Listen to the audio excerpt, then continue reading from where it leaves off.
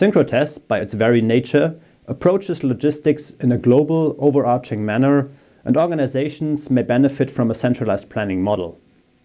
To us, centrally means looking at all orders and deliveries across all sites for all trucks in one system.